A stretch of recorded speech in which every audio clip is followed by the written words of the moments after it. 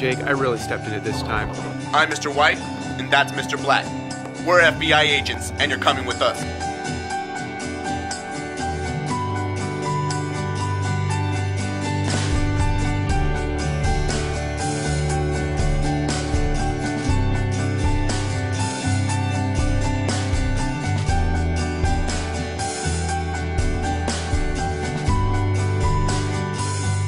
Today I will be explaining the weaknesses of Helno Resurrectus.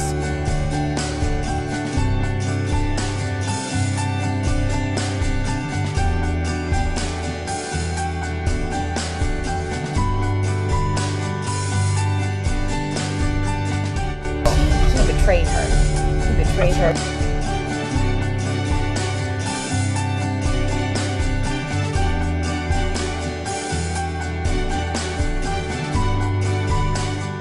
I went up and I did my set, and everybody clapped, and the owner of the bar came up and shook my hand and told me, Thank you so much for being funny.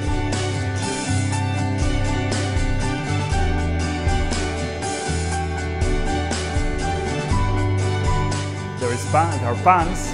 Uh, I, I do mostly bands.